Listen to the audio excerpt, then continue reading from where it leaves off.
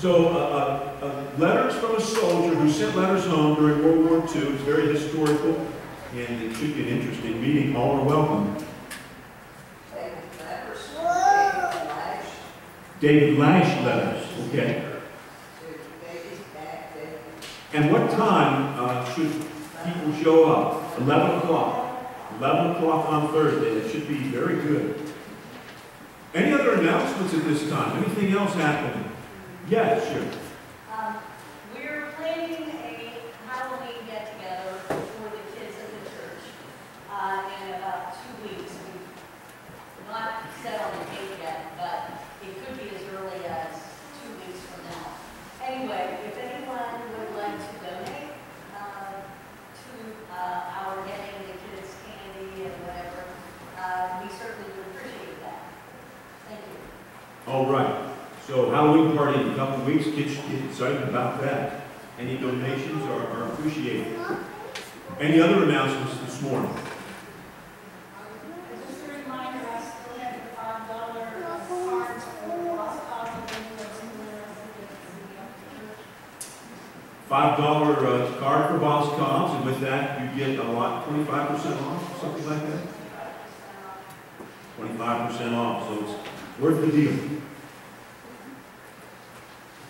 All right, we are ready for our children's sermon. Kids, there's something I want to tell you this morning, and this is very, very important. If you've got something to do and it's a, a big job or it's something you really want to get accomplished, it is important to come up with a good plan. There was a boy by the name of, Johnny, and he didn't work too hard at school, and when he brought home his report card, this is what his report card looked like. He had a C, two D's, and an F. Oh, that's not good. He, uh, he wanted a brand new video game, and he asked his parents for this video game that he wanted. His parents said, no, Johnny, we're not going to get you that video game unless you get on the honor roll next, next time around. Nine weeks from now, you need to get on the honor roll. Well, Johnny, Johnny kind of got frustrated. He didn't understand how he was going to get on the honor roll. His dad said to him, you need to come up with a good plan. Come up with four things to do in the next nine weeks to get you on that honor roll. So he did.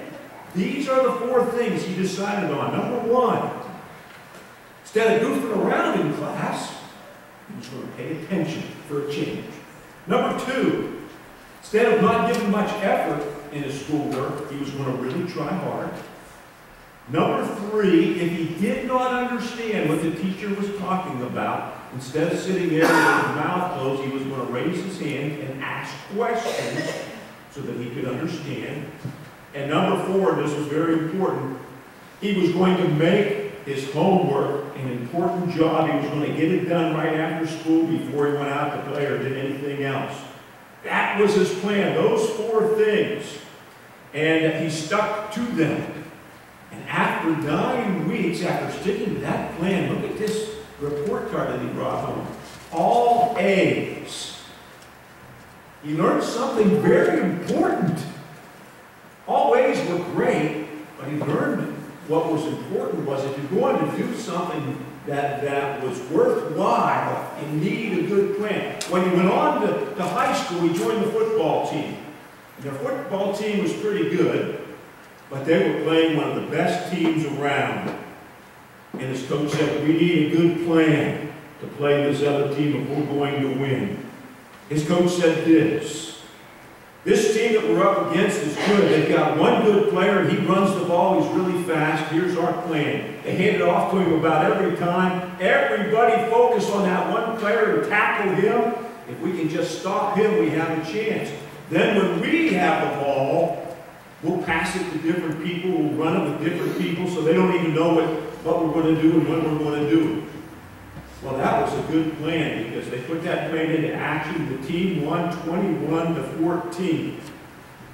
So coming up with a good plan is important. When we come to church, we learn God's good plan for us. And here's God's good plan.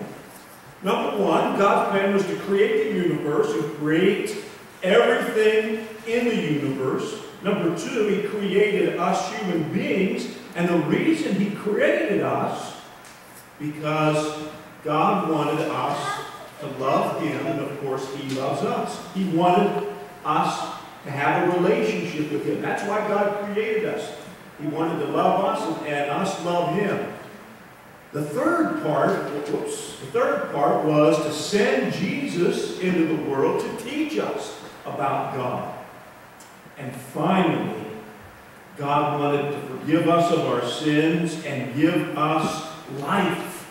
And he did that through Jesus when he went to the cross and took our sins upon himself. So, that was God's plan. And that's why we're here in, in church. So if you have something important that you want to do, you'll want to come up with a plan. And maybe there's something important that you want to do right now.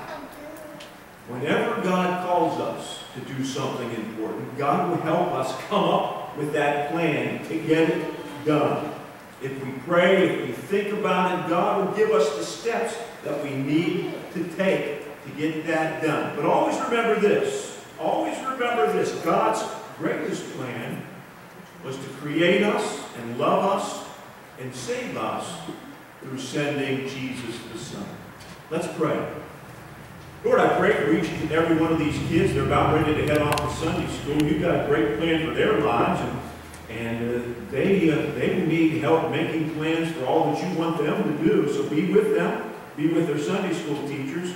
Bless them today, we pray. In Jesus' name, amen. All right, kids, you can head on down to Sunday school.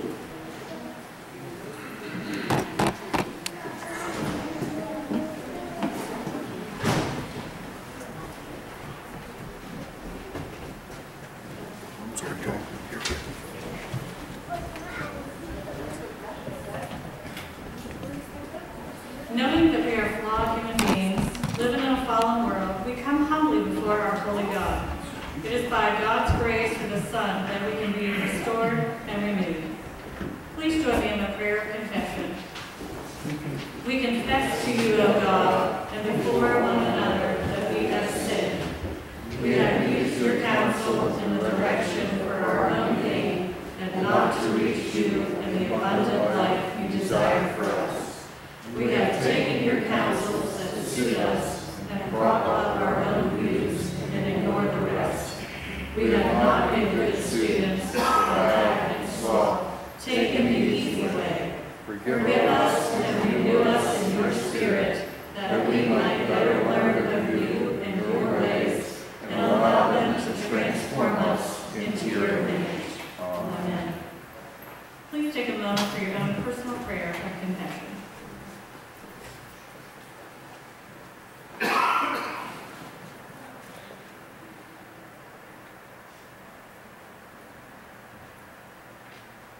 Amen. Since God has forgiven us in Christ, let us forgive one another. The peace of our Lord Jesus Christ be with you all.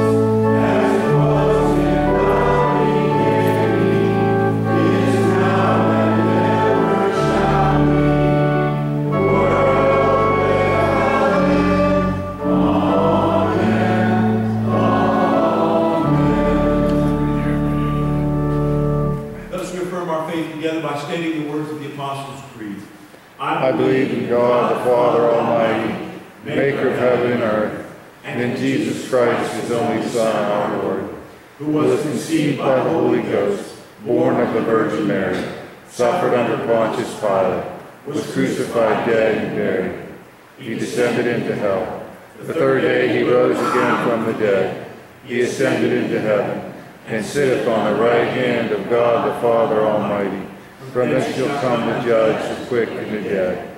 I believe in the Holy Ghost, the holy Catholic Church, the communion of saints, the forgiveness of sins, the resurrection of the body, and the life everlasting. Amen.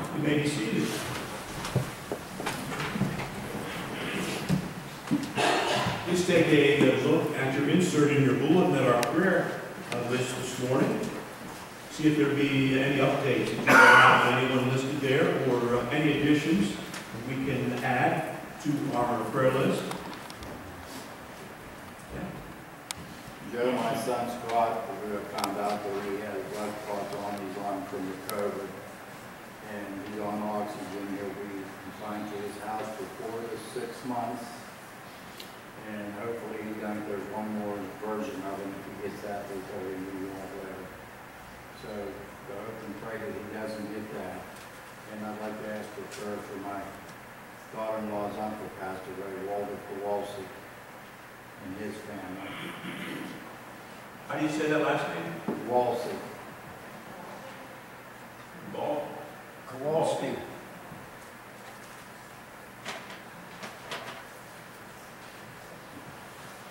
Anyone else? Jack? Joe, uh, I didn't bring it up last week, but my great grandson, the one that we pray for that has diabetes, was in the hospital for a week and a half. They're gonna have to do heart surgery on him, but they don't know when, but he is and doing better. So that's Colton. Okay. All right. Let's come before the Lord, seek Him in prayer. Lord, we do thank you for this, uh, this morning and the people gathered here, and we thank you for the opportunity to worship together, to uh, lift our hearts in prayer for these people on this uh, World Communion Sunday. We believe that uh, you work with power in, the lives of those that we lift up to you in prayer. We know that uh, we're not going to live forever. We know that these bodies will eventually break down and, and physically will die, but spiritually will be raised up to eternal life. But while we're here, Lord, we want to ask for your healing power in our lives, in, our friends' lives and relatives' lives, in, in the lives of, of, of those people that uh, we've been uh, told about who need your healing touch in their lives. So we lift them up to you this morning and ask that you work with power through, through their lives. Be with all these people battling cancer. We think of uh, all these people, Lord, that are going through treatments and, and hard, difficult times. Be with them and watch over them. Bob and uh, Philip. Think of Joe and, and Jackson and Tom. Be with uh, Jack's wife, Linda. Susie, battling bone cancer. Continue to lift up uh, Denny and, and Tammy to you and Sally. Lord, watch over uh, Kathy and Gail. We think of Jean and Sharon. Lord, all these uh, people going through uh, challenging times. Be with them through their treatments. Watch over Ron and Valerie. We think of John and, and Tom. continuing to be with him. Jennifer's mom, Pat. We lift up uh, Jack to you and, and Marlene. We think of Donna, uh, young Leo, and uh, Karen. Lord, if, if these people have been through their treatments and are cancer-free, we pray that they would remain cancer-free. Those who are going through their treatments, Lord, we lift up to you and pray that they would be effective. Help them to, to recover and eliminate uh, that cancer from their lives. Lord, be with our young people, Sophia, and, Jack mentioned uh, Colton. Uh, in this battle against diabetes, we pray that he would get better, get stronger. Watch over these others with uh, health problems. We think of Ron and Lisa. We lift up uh, Donna and uh, Greta. We think of uh, Peggy, who, who needs a, a touch on her vision, and, and my wife Judy also needs a touch uh, on her vision.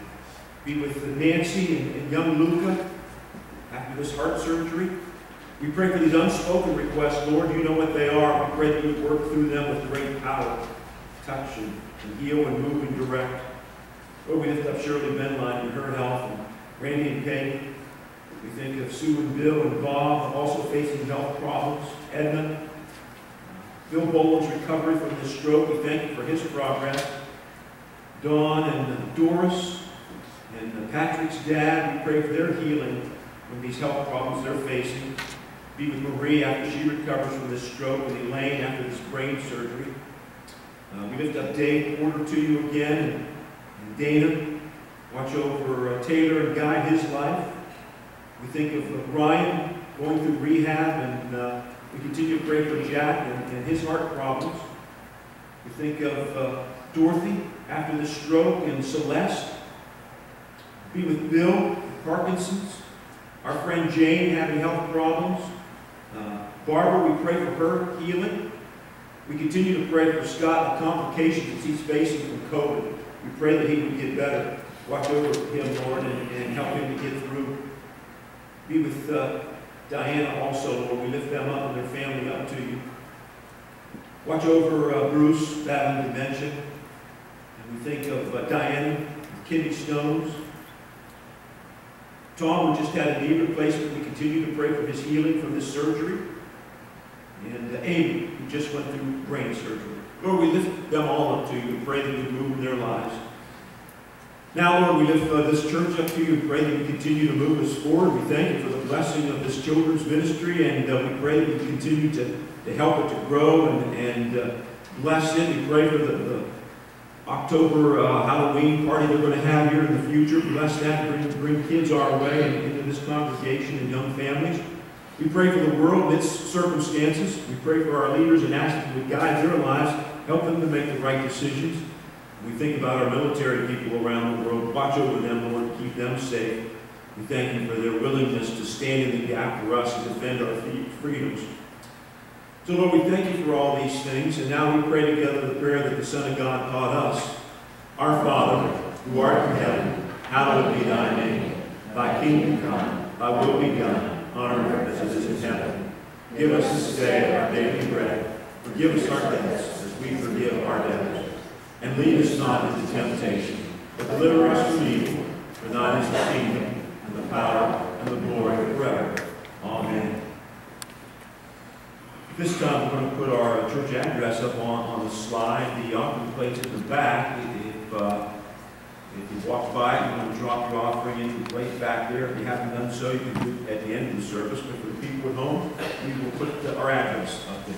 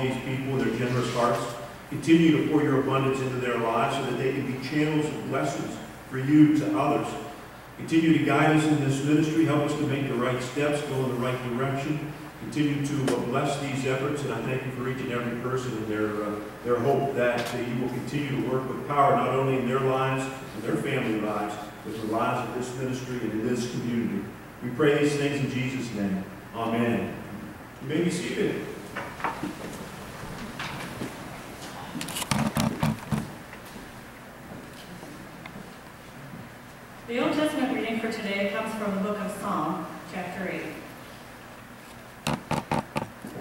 O Lord, our Lord, how majestic is your name in all the earth. You have set your glory above the heavens. From the lips of children and infants you have ordained praise because of your enemies, to silence the foe and the avenger. When I consider your heavens, the work of your fingers, the moon and the stars which you have set in place, what is man that you are mindful of him, the Son of Man that you care for him? You made him a little lower than the heavenly beings, and crowned him with glory and honor. You made him ruler over the works of your hands. You put everything under his feet, all flocks and herds, and the beasts of the field, the birds of the air, and the fish of the sea, all that swim in the paths of the seas. O Lord, our Lord, how majestic is your name in all the earth. This ends the reading of the Old Testament.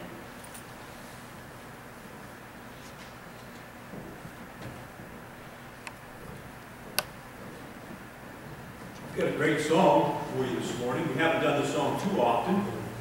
Probably about a year ago we did it. Hopefully most of you uh, will remember it. If, if not, we're going to sing it through a few times. It has a, a powerful message. People need the Lord. You don't have to live long in this world before you understand how much uh, that message is, is true, how much we need the Lord. Each of us are facing different challenges and, and battles. And uh, sometimes in the heat of the battle, things seem dark as we finally look up and, we say, Lord, I, I can't handle this on my own. You're going to have to guide me. You're going to have to help me. You're going to have to get me through.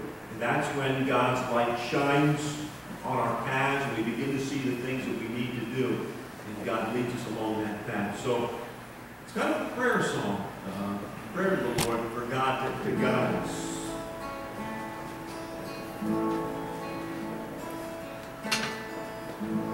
People need the Lord. People need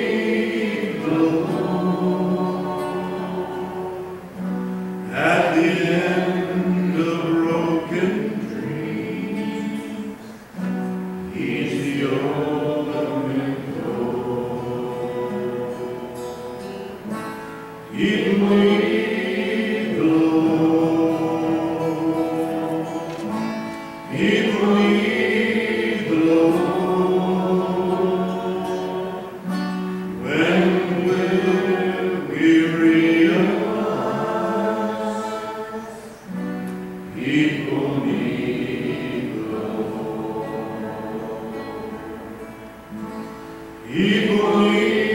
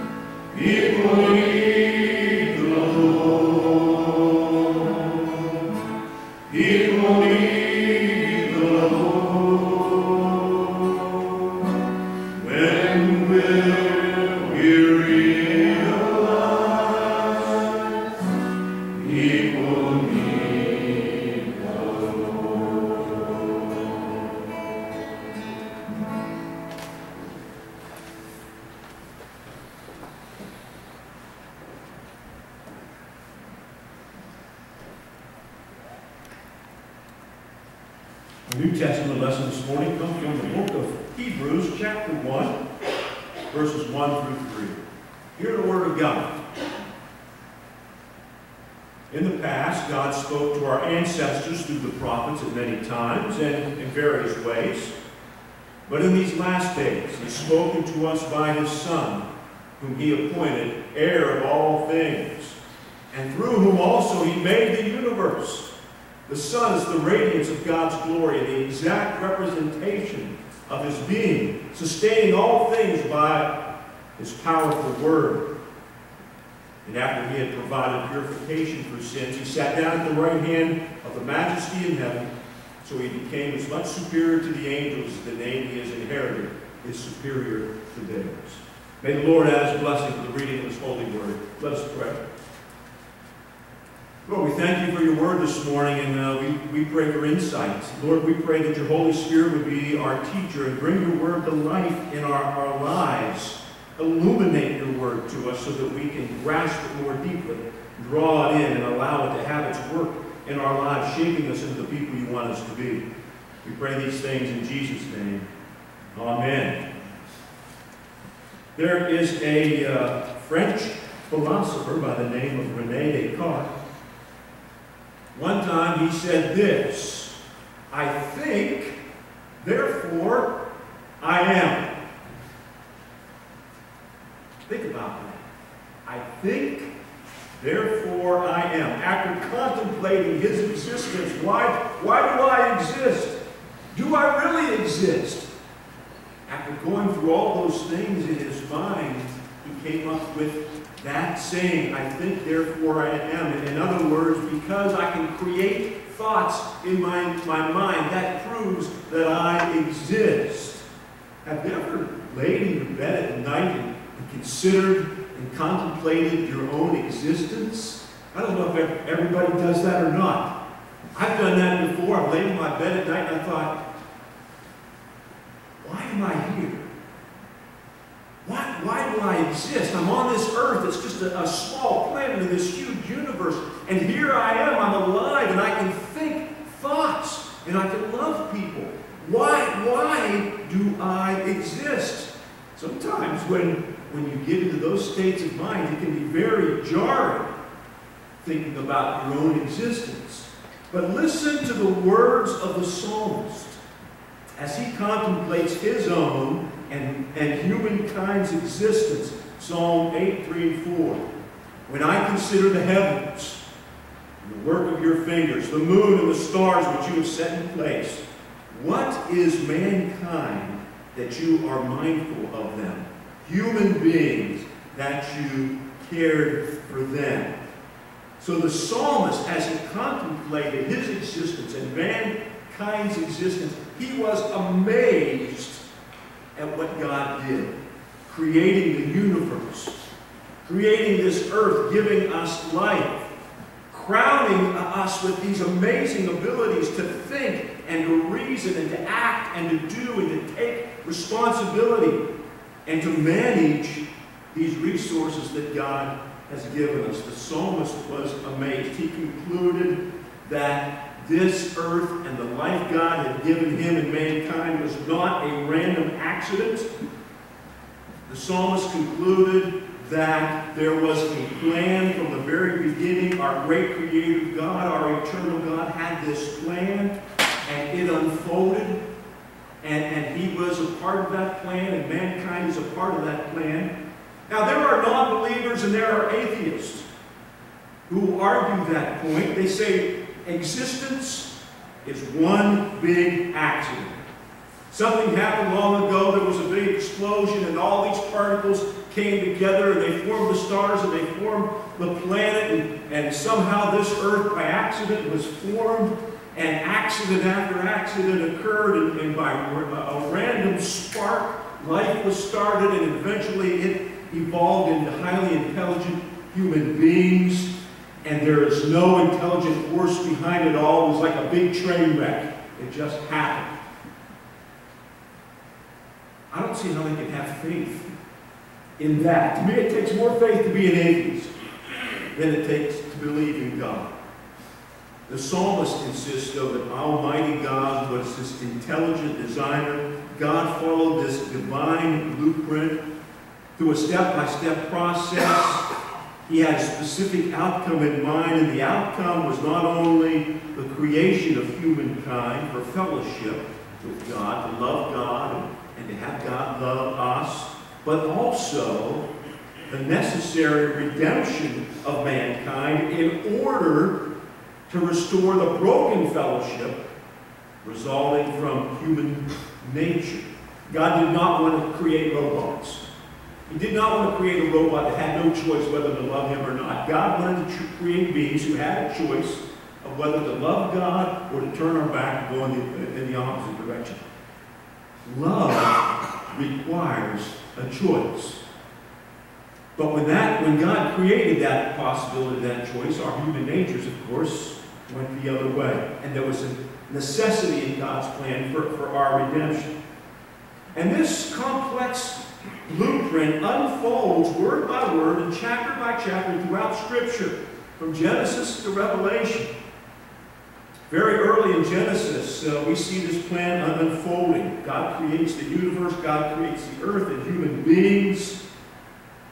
We are given the choice whether to love and obey God or not. Of course, human beings choose not to love and obey God, and, and, and sin separates us from God. But the wheels of God's redemption plan are already turning, even back there in, in Genesis. This is what God says to the woman. God promised Eve that one day her offspring, a son, would crush that serpent's head.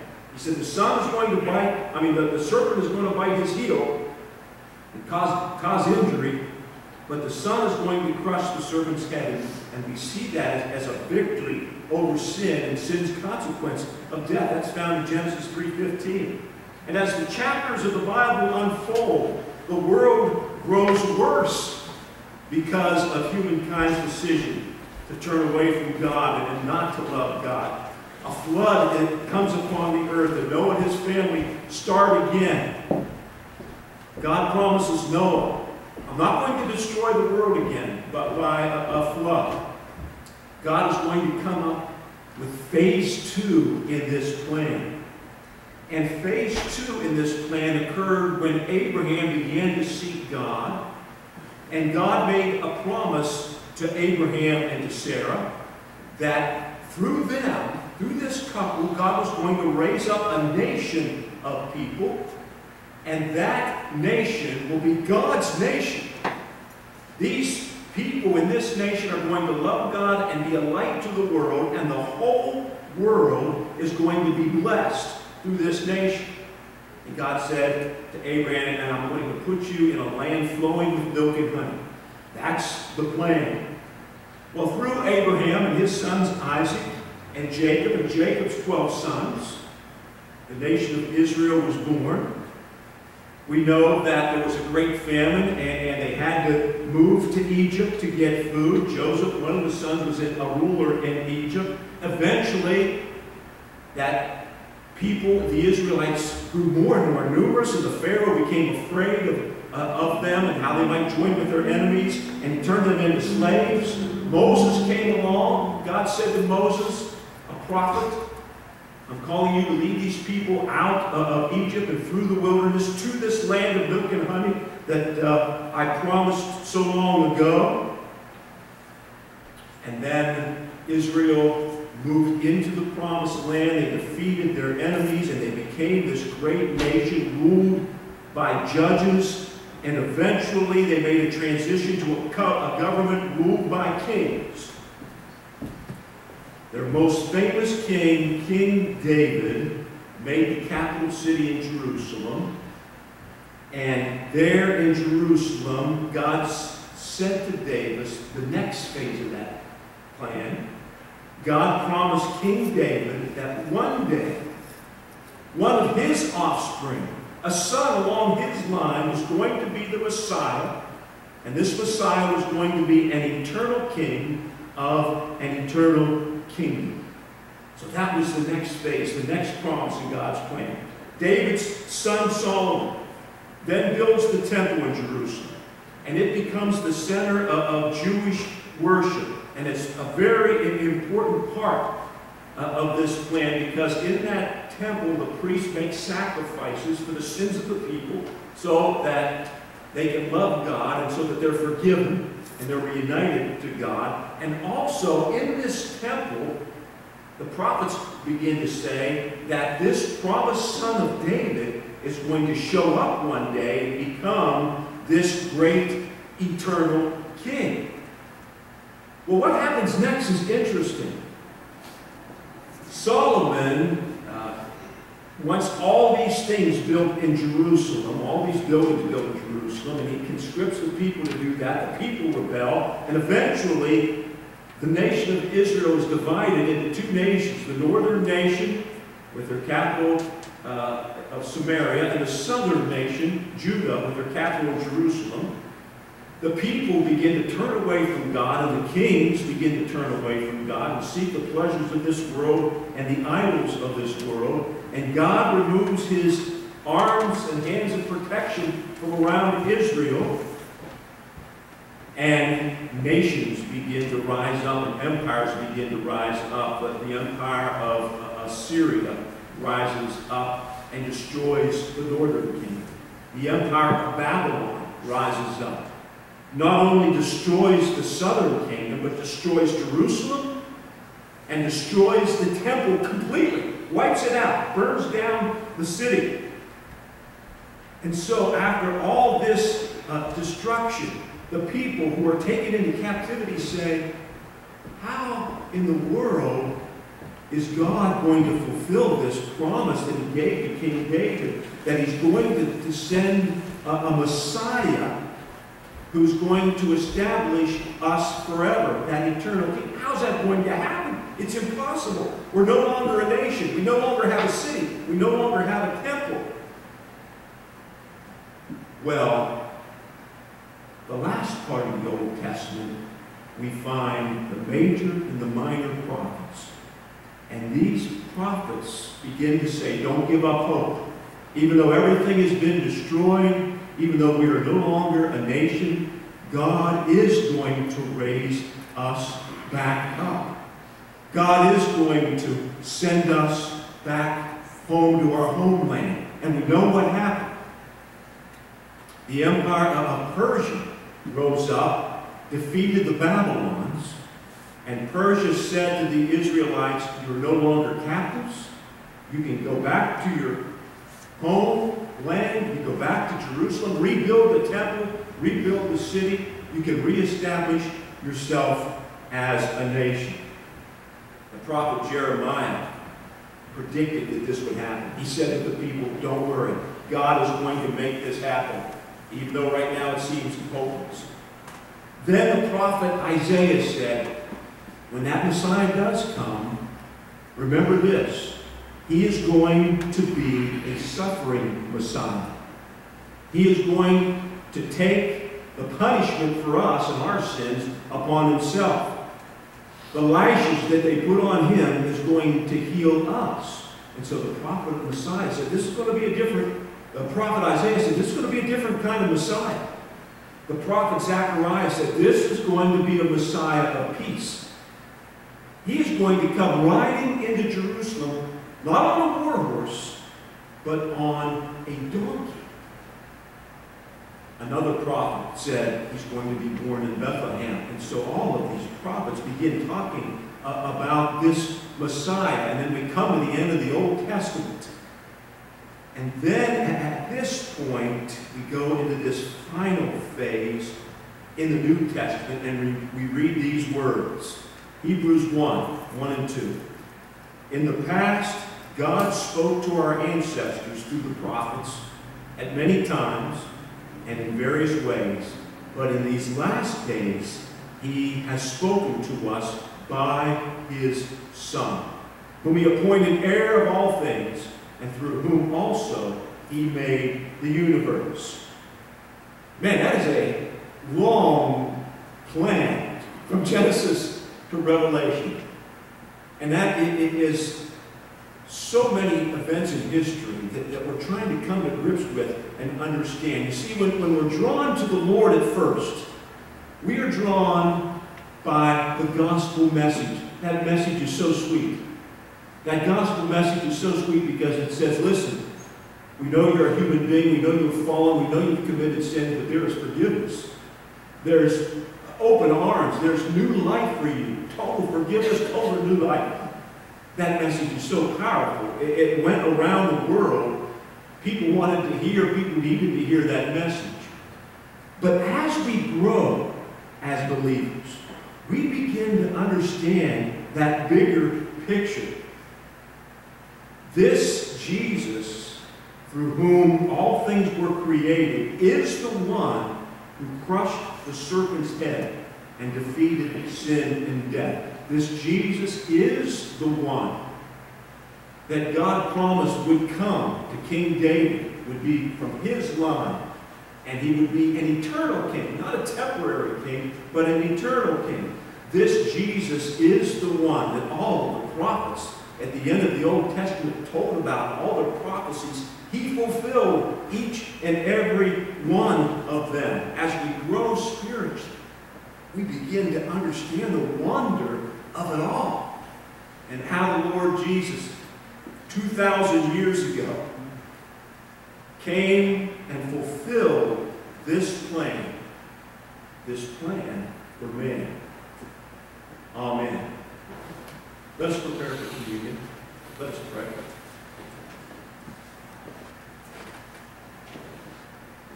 Lord, we thank you for this great plan that you have for us, and we want to grow in that understanding. You know, from Genesis to Revelation, we want to understand how all those puzzle parts fit together.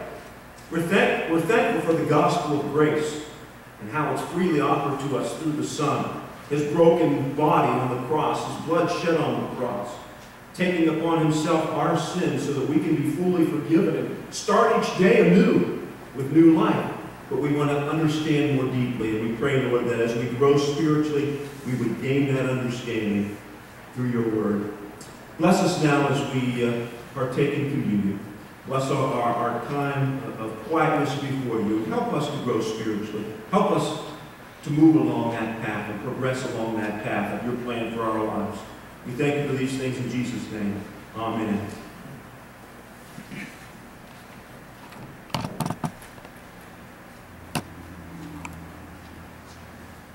The Lord Jesus, on the night of his arrest, took bread. After giving thanks to God, he broke it and gave it to his disciples, saying, Take, eat. This is my body broken for you. Do this in remembrance of me.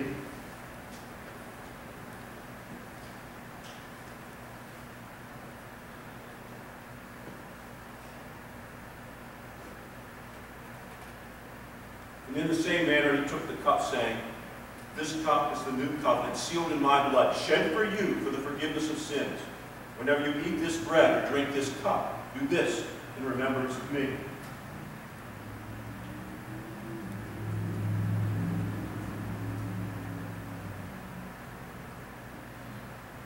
You may come forward one by one and partake in communion.